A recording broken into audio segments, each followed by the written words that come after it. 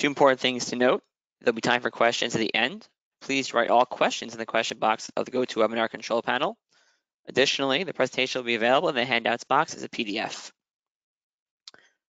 Welcome to our presentation on the Hunter Harrison Memorial Bridge, a new pedestrian cable-stayed bridge at the University of Memphis. My name is Steven Lowinger.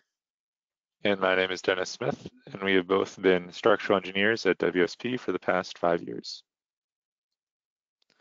This is the agenda for today's talk. We'll first discuss an introduction, the need for the bridge, the involvement with the architect. We'll discuss an overview of the main structural elements, those being the tower and the deck. And then wrap up with a conclusion and a question and answer time. The bridge is located in the state of Tennessee. More specifically, is located in the city of Memphis at the University of Memphis. Here's a map of the campus, and as you can see outlined, the campus is divided into a north and south portion of the campus, which is, which is separated by freight railroad tracks. The majority of university buildings are located on the north side, with a few buildings as well as student parking located in the south. Zooming into the crossing of the tracks, we can see that there are three at-grade crossings existing. However, the trains were often mile-long freight trains and took a long time to clear the crossings, and at time would stop in the tracks, completely blocking the crossing, isolating the north and south campus. This would often cause students to be late for class or be forced to dangerously climb through stop trains to get to class. To address these issues, the university proposed to build a new pedestrian bridge over the tracks that would both improve pedestrian safety and also serve as a connection between the main North Campus, and the newly developing South Campus. Additionally, the university had to put out an updated master plan, which included adding more facilities to the south portion of campus, including recreational facilities and a new parking structure. Therefore, for these two reasons, the university needed to create a better way to cross the tracks and provide for a more unified campus. In order to do this, the university wanted to create not only a bridge, but an iconic structure that looks like this. Seen here is a 3D rendering of the campus. The bridge is shown on the left. Is a single tower cable-stayed bridge. The south side of the campus is shown on the left side of the image. From that side, the bridge can be accessed from the ground as well as directly from, from the new parking structure adjacent to the bridge. On the right side of the image is the north side. From that side, the bridge is, can be accessed via a grand entrance structure called the promenade. The new bridge would serve to do much more than simply connect the North and South campus, but it would improve the connectivity of the entire campus. Before the construction, the, the university president had said that it would prove to be the single most transformational structure ever constructed by University of Memphis. And in this photo, you can see the final product, which was completed in August 2019. The bridge is lit in the official school color of university blue, which highlights the main structural features, including the tower, the cables, and the deck. There is a wire mesh fence that provides views of the campus and the city beyond. The fence's swooping profile rises gracefully to a height of 2.4 meters as it crosses over the railroad. This is just one example of how safety is at the forefront throughout the design and the construction. The bridge also meets four of the 17 UN Sustainable Development Goals. It is a much safer and more reliable alternative to the existing crossing. It increases student well-being and improves their access to quality education. Education is fundamental to reduce economic inequalities, and the bridge accommodates equitable transportation as a walkable, bikeable, and ADA accessible crossing. All the above combined with the resilient structure of the bridge itself to promote a sustainable city and community. The project was delivered via design bid build. The owner, the owner was the Tennessee Board of Regents who oversee the state university system. They contracted directly with the architect Haizlip Studios as the prime consultant who then selected WSP USA as the structural engineer for the cable stayed bridge and selected Burr & Cole to design the adjacent structures, which we'll talk about in the next slide. Subsequently, Haizlip selected Flintco as the general contractor. In addition to WSP's role as the designer of the cable stayed bridge, we also had a role during the construction, providing construction support services, answering RFIs, as well as reviewing submittals. A breakdown of the different structures can be seen in the next slide. As Steven mentioned, our bridge uh, was part of a series of structures within a larger project.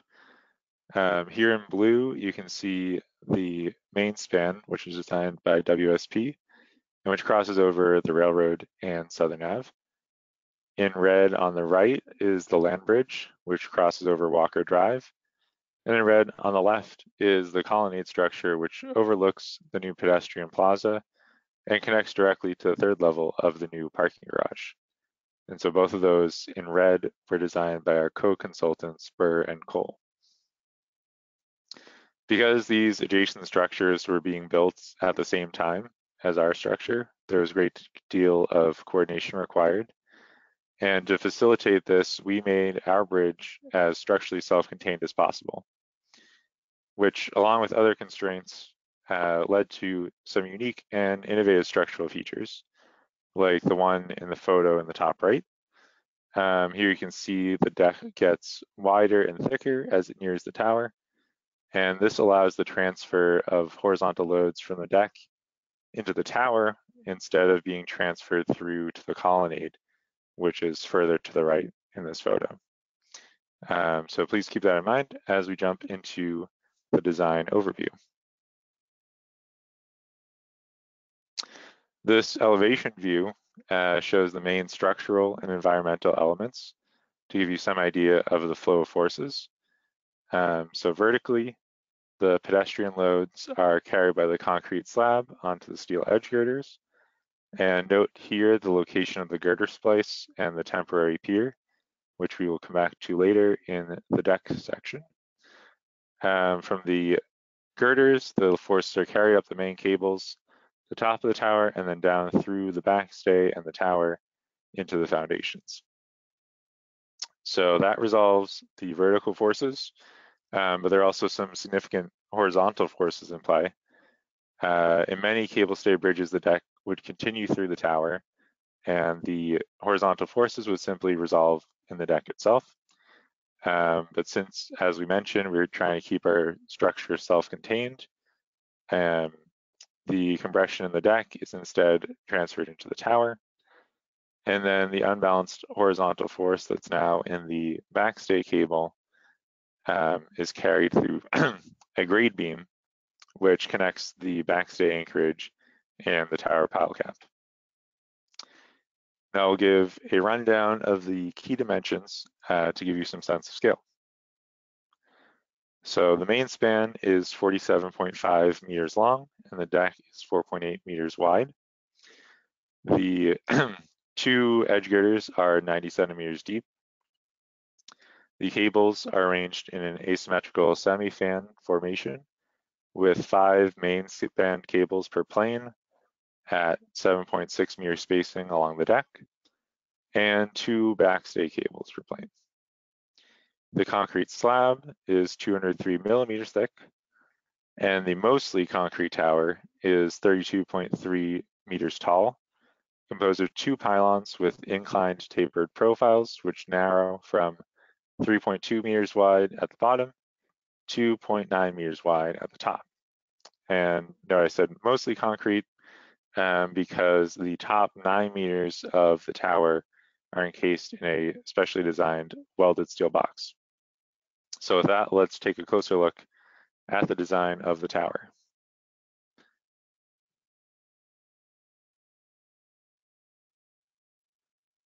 So as I just mentioned, and as shown on the tower key to the right, the top nine meters of the tower are formed by a welded steel box, while the rest is constructed in normal reinforced concrete. Um, and in this horizontal section, you can see that the box houses cable anchorages, as well as in the photo, you can see it also anchors a X-shaped cross bracing. Um, and so these two features would not have been possible um, with such a narrow section which is what led WSP to create this uniquely designed uh, box. So after being lifted into place, the box is filled with concrete, which then engages the studs shown in the section uh, for composite action. Um, but before the concrete cures, there is a risk of overturning for this inclined uh, tower. So we added post-tensioning bars, which tie the box back into the concrete in the lower portion of the tower. And you can see those uh, post-tensioning bars as the darker dots. Um, so now on the next slide, you'll see a vertical section, um, which shows some more of those uh, features, the PT bars, the cross bracing anchorage, the cable anchorages, uh, and the studs. And then on the right, you can see um, the box being lifted into place. Uh, the There's some rebar continuing up from the concrete portion of the tower through into the box. Um, all right, so now we'll look at the lower portion of the tower. And here, uh, there were some, a couple of challenges uh, impacting the reinforcement. Um, some of those were architectural requirements, like the inclined and tapering profile, uh, which meant that every horizont horizontal section is different. Um, there's also the very narrow section. It's only 61 centimeters or two feet thick, uh, which gave us very limited clearance all around. Uh, there were also zones where we had to design for plastic effects. Uh, one of those was at the deck level because of the moment coming in uh, from the horizontal force in the deck. And another one was at the foundation level because of seismic requirements, um, which also meant we needed to use hoops and a tighter spacing between layers. So that all adds up to, uh, we had to fit a lot of rebar into a very small space and do so in a way that was actually constructible. So in the face of these challenges, WSP delivered an innovative yet simple solution uh, using just two different hoop sizes, which alternate and overlap as the section narrows up the tapered tower. Here's a quick peek of the section view at the base of the tower. And you can see it's quite congested. Uh, but working closely with the contractor, we, will, we were able to bring the architect's vision to life for the tower. Um, moving back to the top of the tower, we're going to take a quick look at the cables. Um, so looking at the backstays, we have four seven strand cables in total uh, with two per pylon. Uh, the dead end of the backstays is at a fin plate, which comes off of the back of the steel box. Um, the backstays are then stressed at ground level in a specially designed anchor block. You can see this finished grade is actually right in the middle of the new pedestrian plaza. And so we had to add uh, some security features to these anchor blocks, including an access panel door um, to allow for the stressing of the cables, as well as anti-vandal pipes around the cables coming out of the top. Um, and those are also treated with anti-climb paint to prevent any shenanigans. And then looking at the mainstay cables, um, we have five, uh, 10 five-strand cables in total with five per pylon. Um, and these are stressed at the tower, which meant we had to leave the back of the welded steel box open and then cover it with a specially designed cover plate once uh, the stressing was completed. And then the deck, the dead end for the mainstay cables is at deck level, um, where the connection plates are welded to the flanges and web of the edge girders. And so that brings us to the design of the deck. There are two composite edge girders, which are rolled W33 by 291 beams that run parallel to the plane of the cables. They're supported by the cables approximately every 7.6 meters. At each point of the connection with the cables, there's a floor beam that spans between these edge girders. The girders were erected in two segments, with a field splice being made adjacent to the temporary construction support shown in blue. This was located outside of the 7.6 meter clearance envelope of the railroad. By having this temporary support, we were able to avoid working over the railroad and minimize the number of track outages. The girders directly support a slab which is 203 millimeters thick, but is, is composed of a hybrid system. One concern of the client was working over the railroad tracks and the potential impact to schedule if it was required to foul the tracks throughout the construction. In order to mitigate this issue, WSP designed a deck to be constructed with the bottom 114 millimeters as a precast panel and the top 89 millimeters as cast in place concrete. In order to ensure composite behavior between these two slab components, the top of the precast panel was roughened and there were hoops installed in the precast panel to engage the cast in place concrete. A major benefit of this hybrid deck system was that it minimized the interference with the train traffic as we avoided installing formwork over the tracks because the precast portion of the deck itself acted as the formwork. This enabled a safer working environment and also allowed for less track outages. This also allows for the bottom of the deck to be visible for inspections in the future. Another important consideration in design of the deck was accounting for vibrations. The design of our structure resulted in a redundant but slender and flexible structure. Due to the flexibility, the bridge had a low frequency of the first vertical mode of 1.37 Hz. AASHTO, which for our international audience is an acronym for the American Association of Highway and Transportation Officials, LRFD guide specifications for the design of pedestrian bridges, states that if the frequency of the first vertical mode is less than 3 Hz, then further investigation is required. Therefore, further investigation was conducted in accordance with the technical guide for the assessment of vibration, vibrational behavior of footbridges under pedestrian loading, which is a French code called Sétra. The vertical frequency of the bridge was therefore checked, and the bridge was categorized under range 3 for minimum comfort and is therefore acceptable. This means the accelerations undergone by the structure are perceived by the users, but do not become intolerable. Another concern in the design of pedestrian bridges is the potential for the pedestrian lock-in phenomenon. This occurs when a bridge begins to sway laterally and pedestrians modify their gait to maintain stability. If the bridge has a low degree of damping, this reaction can lead to larger vibrations. This phenomenon was also investigated as the lateral mode of the tower has a frequency of 1.22 Hz, which is less than the recommended minimum 1.3 Hz stated in AASHTO. After evaluating, after evaluating the dynamic performance of the structure using Sétra, the, we concluded the lock-in phenomenon would not be a concern.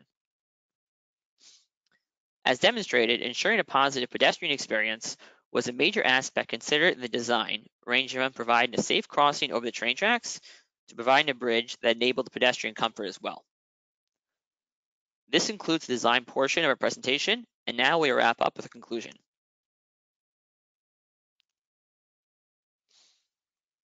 We discussed the geography and need for the bridge. We discussed the col collaboration with the architect and ensuring the architect's vision became a reality, as well as the innovative designs of the major components of the bridge provided by WSP.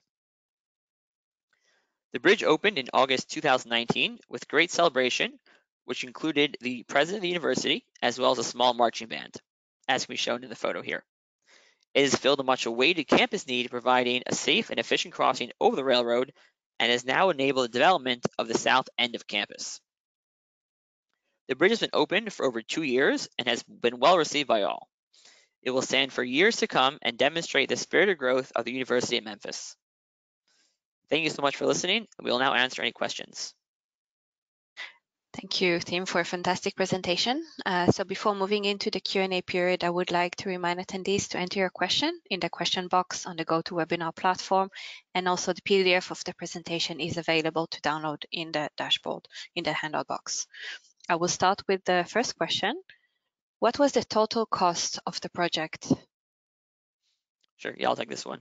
So we don't have an exact number for the pedestrian bridge, but the overall project included the construction of the, the pedestrian bridge, the two adjacent structures, and that parking garage adjacent on the south side of the bridge. And all the construction, the construction cost of all of that was $34 million. Thank you. Uh, the next question, is a cable stayed bridge uh, the most cost-effective solution or does it its aesthetic make it more appealing uh, choice? Yes, a valid question. So we were brought on once the structure type was decided. Uh, the structure type was decided between the architect, the architect Haizlip Studios and the Tennessee Board of Regents.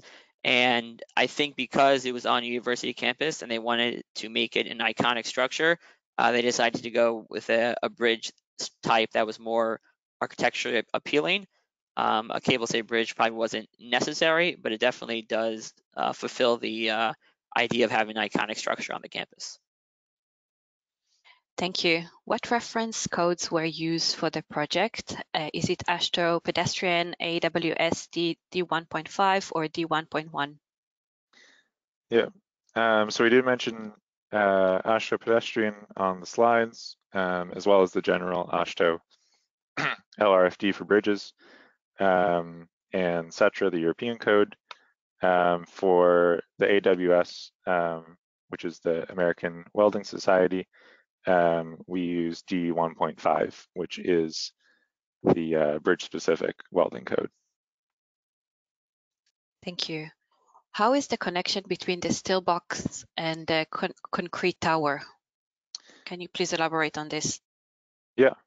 So the connection between the steel box and the concrete tower is achieved um, through a combination of uh, reinforcement, which continues from the lower portion of the tower into the um, concrete box, which uh, is filled with concrete as well. Um, and then that concrete, the concrete in the tower um, is composite with the box, the steel of the box itself, because you have studs in there. And then there's also the pre-stressing bars, which were um, included for the construction load, but which remain after construction as well, um, that continue from the lower concrete portion into the box. Thank you. Uh, did you perform global stability analysis for the pylons? Uh, yes, that was conducted. Thank you. Uh, there's a question here about uh, the risk of ice falling from the cables during winter. Uh, was it considered, and if so, if it, was it mitigated? Yeah, I don't think uh, Memphis is pretty hot. Um, I don't know how much ice they get, but that was not uh, considered in this design. Thank you. Uh, the next question is, uh, could you talk more uh, in details about the design of the foundations? Sure. Uh, yeah, the foundation uh, elements were three foot diameter drill shafts. They were eight uh, drill shafts under the tower, and there were four under the backstay anchorage foundation. And then, the, like Dennis mentioned earlier, the load was transferred between the foundations via that grade beam. Thank you. Sorry, lots of questions are coming through. um, the next question is, uh, was was it the design of the bridge and the cable res respectively? Did you consider the cable change in the future uh, pair at the same time? Repeat that question a second. The, the question is, is about the design of the bridge and the cable. Uh, did you consider the cable change in the future and uh, potentially repair at the same time? Uh, yes, that was considered as one of the uh, load cases. We did cable replacement and cable loss. Thank you. Uh, could you elaborate on how the stability analysis was performed? Um, I would say, uh, let me respond to you post this uh, presentation to give you a more detailed uh, discussion. Definitely, thank you. Uh, the next question is, was is what is the reinforcement ratio in the tower? Uh, let's see. Oh yeah. Um, so the uh, reinforcement ratio for the longitudinal uh, rebar alone was 3.6%, um, which is just under the typical limit of 4%.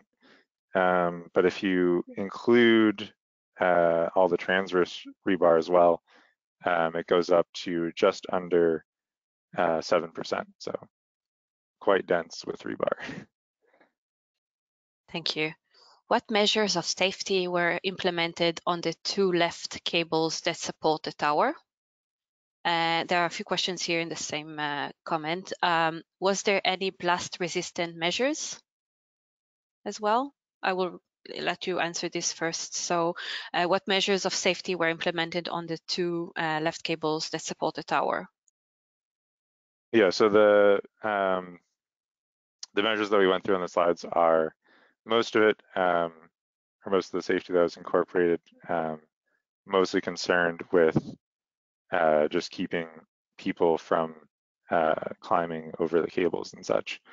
Um, nothing specific for blast resistant uh, although the anti-vandalism cables do provide a bit of standoff.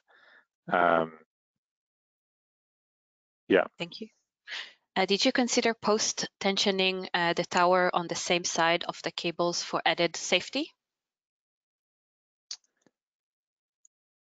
No, there and there's the the post-tensioning bars in the steel box uh, were mostly there for the construction loads, but in terms of the um, sort of service loads and stuff, the we're mainly relying on the uh, backstay cables to resist the mainstay forces. Thank you. There's a question here about the design service life. Um, what is uh, the design here? Uh, how many years is it? Uh, we went with the typical 100 year service life. Okay, uh, another question here, uh, were the cables stainless? Uh, I, I, I, guess they, they speak about the paint. Yeah, I don't think so. I mean, they're in, I think they're just galvanized um, and they're in uh, tubes, um, HDPE tubes. So um, yeah, they're not like exposed. Thank you. Did a peer review done on this design? No. Thank you. Um, another question, how were the cables stressed?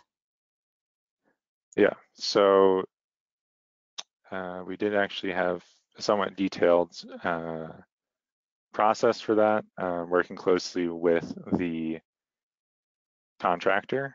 Um, so we had a, a, finite element model built, which um, modeled each stage of the cable stressing operation, uh, starting with the backstay cables and then the mainstay cable closest to the tower and then moving away from the tower out to the longest cable. Um, actually, because it was so long, it had to be sort of stressed in two stages. Um, to get the uh, to make sure all the force was in there that needed to be. Um, and so we provided the contractor with um, sort of target uh, survey points for each endpoint of the, the cable. So as they're stressing the cables, they're taking surveys of those endpoints uh, to make sure that they are uh, sort of close enough to what we had modeled. Um, and yeah, and we were we were checking in with them at each stage, and and it was uh, we were successful in achieving the correct deck profile and uh, cable stresses.